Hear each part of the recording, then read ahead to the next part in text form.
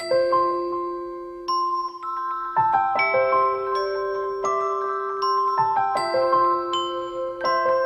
যে এখন ভুট্টা লাগানোর মৌসুম এখন চাষিরা কিন্তু শ্রমিকের সংকটে ভুগছে।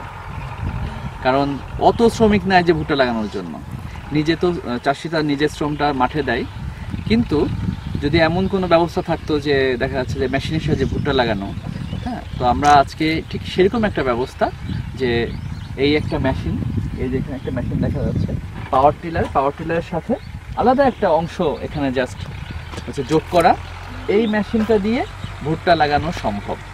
এবং সেটা কি? কৃষক কিন্তু ভুট্টা লাইনে করে একটু বেড মতো করে তারপরে ভুট্টা হচ্ছে হাত দিয়ে দিয়ে ভুট্টার বীজগুলো দেয়।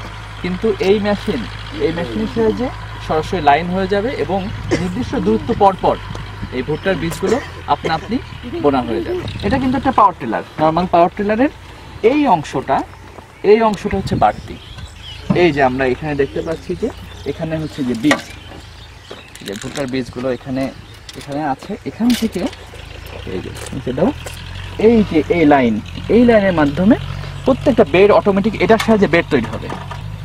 এই এটার সাহায্যে হচ্ছে বেড তৈরি হবে ঠিক এই মাপের এবং মাঝখানে নির্দিষ্ট দূরত্ব পরপর এই বীজগুলো সেখানে পড়বে। তো এটাকে আমরা বলছি হচ্ছে বেড প্লান্টার। আমরা হচ্ছে এখন দেখব যে ভুট্টার বেড প্লান্টার কীভাবে কাজ করে?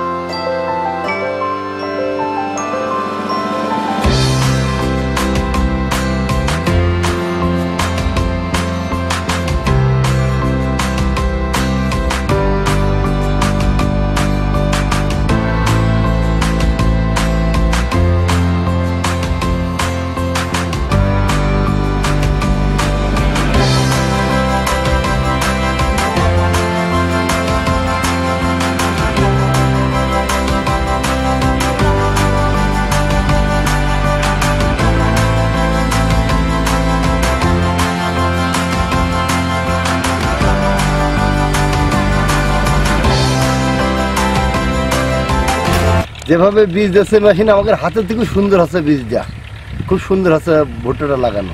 আমার খুব পছন্দ আর কি। এক বিঘা জমিতে যদি জোন দিয়ে লাগান কত টাকা লাগতো?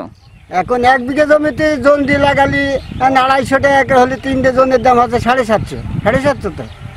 সাড়ে সাতশো টাকা পড়ছে। আর এই এই জমিতে হলো এক বিঘা জমিতে এখন দুইশো টাকা খরচ করলে লাগানো হয়ে যাচ্ছে। মেশিন আমার ভুট্টা লাগাইনি আমার খুব পছন্দ। যেভাবে লাগাচ্ছে এর আগে যদি হয়তো তো আমরা কিছুটা আগাতে পারতাম বা খুব আমার মানে পছন্দ মতন আমার ইয়ে হয়েছে খুব পছন্দ। আমার তো ভালো লেগেছি। আমি তো অল্প সীমিত খরচে ভুট্টাটা আমি লাগাতে পারলাম। আমার অনেক জমি চাষ। তাতে করে আমার খুব সুযোগ সুবিধে আপনারা দিলেন বা আমি পালাম।